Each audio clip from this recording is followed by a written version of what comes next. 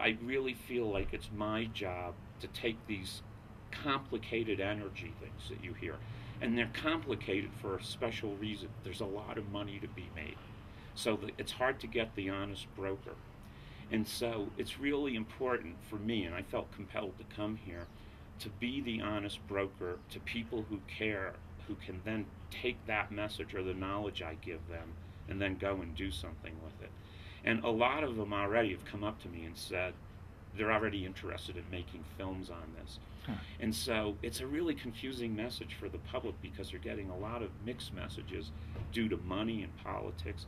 And all I really care about is the health of the earth, the planet, and mostly the people on the planet. So you should always remember with CO2 global warming, the earth is going to be absolutely fine.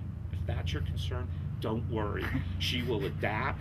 You won't be living on it very well. So I'm more worried about you living on it, not the planet.